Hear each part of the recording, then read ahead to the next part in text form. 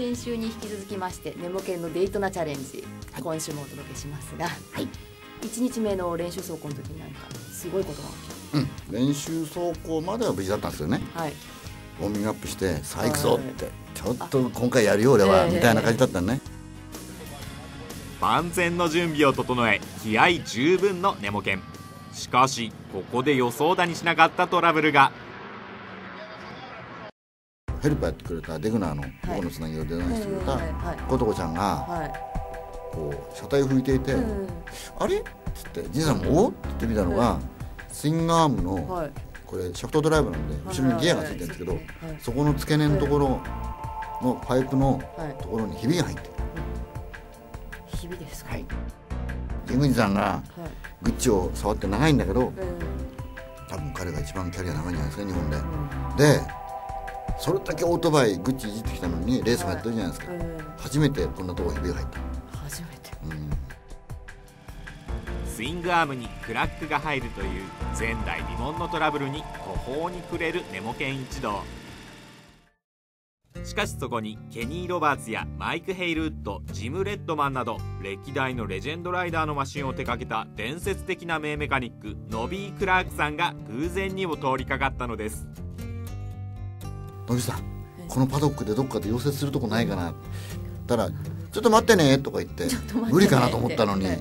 ヒュッて言ってしばらくしたら「あああの知り合いがいてはい。溶接機持ってきて最新型だからうん。フレームもちゃんと溶接できるから大丈夫だよ」って言ってで持ってってやってもらったんです。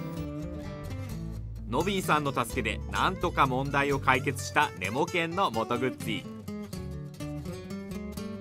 意気揚々とグッズィにまたがりウォームアップに向かうネモケンでしたがここでまたもや予期せぬ出来事が「おいおいおいおいケンケン!」うん。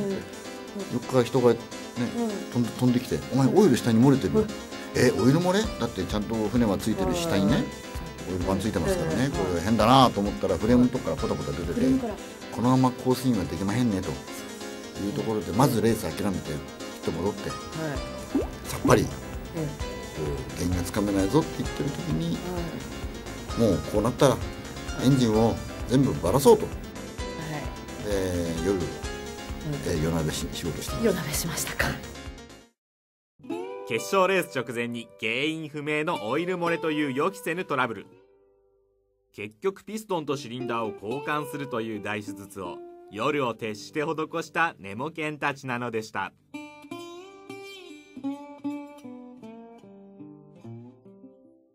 でね、はい。えーいよいよ、えー。翌日。はもう今日これであったらえー。何しに来たんだろうっていう実は不安がドキドキ。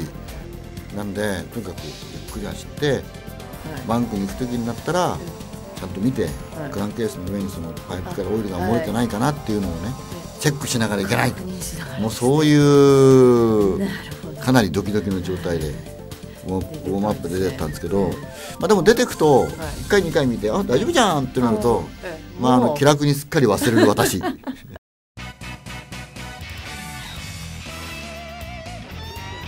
問題なく走れることを確認したらあとは思い切りレースを楽しむだけ。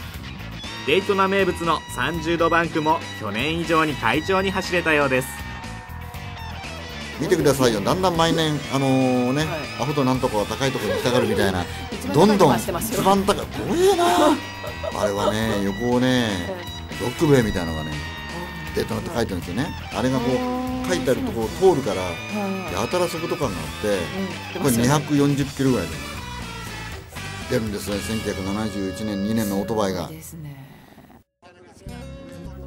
そして嬉しそうな顔してますけど。いやはいもうねえ満足。え満足ですか。もう全然満足でしたね。えあのー、競る時は本当は下行かなきゃ風強かったからうんなんだけどはい。前の2台が少しうん離れてからもうついていけないとなったらまた自分で一人で一番上のバンカー。えまだ行っちゃいましたか。い。いや俺は好きなとこ走ったらいいんだよみたいな。でもおかげさまでこのレースの時にベストタイム出ました、あそうですか。うん、じわじわ詰めてたんですね。なるほど。でまああのヒーローインタビュー、ええ。で、はいあの来年もまた戻ってくるか？もちろん！みたいな。ね。うわー！みたいなノリで、はい。場内アナウンスもずっと、まあ、ものすごく綺麗な元口でみんなが知っているこの元口で、今年10年連続だよってわーっと盛り上げてくれたんですけどね、まあおかげさまで、え2日目に、7フォーミュラ752、はい。フォーミュラヴィンテージ3位と、でもねえ幸せですよね。